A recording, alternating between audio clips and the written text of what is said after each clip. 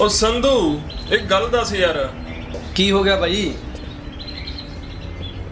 ਇਸ ਕਾਲਜ ਦਾ ਬਣੂਗੀ ਕੀ ਗੱਲ ਹੋ ਗਈ ਭਾਈ ਦੇਖ दारू दारू ਅਫੀਮ ਅਫੀਮ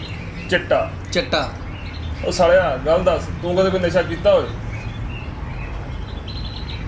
ਉਹ ਕਮਲਿਆ ਸਾਨੂੰ ਕੀ ਪਈਆ ਨਸ਼ੇ ਕਰਨ ਦੀ ਕੀ ਗੱਲ ਅਸੀਂ ਤਾਂ ਕਿਸੇ ਹੋਰ ਹੀ ਨਸ਼ੇ 'ਚ ਕੰਮੇ ਕਰਦੇ ਆ ਕਿਹੜੇ ਚ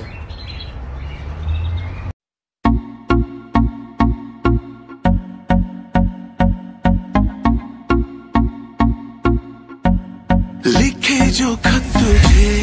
वो तेरी याद में हजारों रंग के नजारे बन गए